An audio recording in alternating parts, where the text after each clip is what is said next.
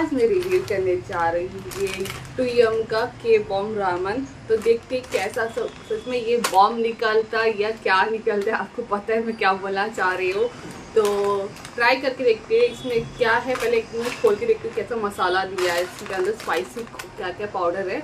तो ओपन करके हम लोग देखते हैं। आप देख सकते हो कि इसमें देखो सब में दिया रहता है। मैगी वैसे ही है और रामन और ये हमारा मसाला है। एक प्रेमिक्स दिया है और एक ये सीजनिंग दिया है। तो हम दोनों डाल के देखते क्या चलता है। बॉम्ब निकलता है कुछ और निकलता है। तो चलो ट्राई करते हैं।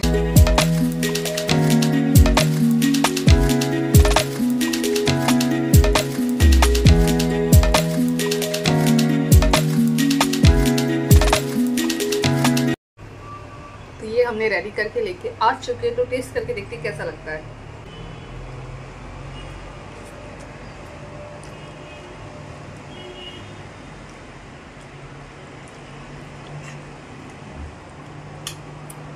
स्पाइसी तो मुझे नहीं लगा, जैसे नॉर्मल रहता है वैसे लग रहा है।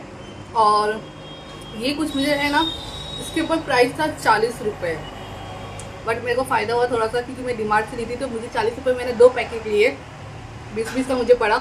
बट ठीक है, इतना भी खास नहीं, और इतना भी स्पाइसी नहीं खा सकते नॉर्मल है, और बाकी रेमन से ठीक ही ठाक है। तो आप ट्राई कर सकते हो।